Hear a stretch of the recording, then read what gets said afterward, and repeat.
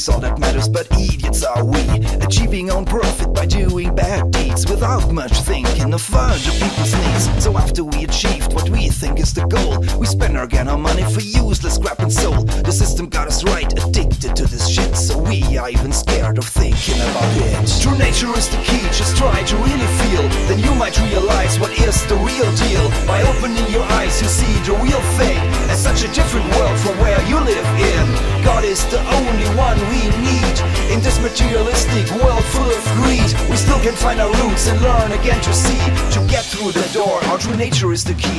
You have to break free before it's too late. War, disease, and poordom's owing to this fate. So what is so wrong while all act this way? Well, that's a test to go through anyway. We live in Kali Yuga, so the simple answer is finding back to will bring eternal bliss. We still think a war might solve anything, while in fact a real devil sent you in. True nature is the key, just try to really feel. Then you might realize what is the real deal. By opening your eyes, you'll see the real thing. And such a different world from where you live in. God is the only one we need.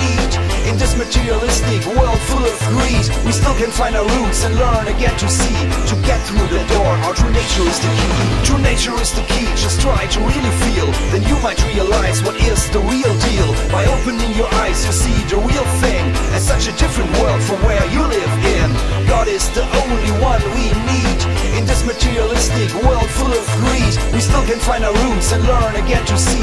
To get through the door, our true nature is the key. Refuse as a soldier. Seduce only your girl. Be faithful as a friend. Keep a clear mind until the end.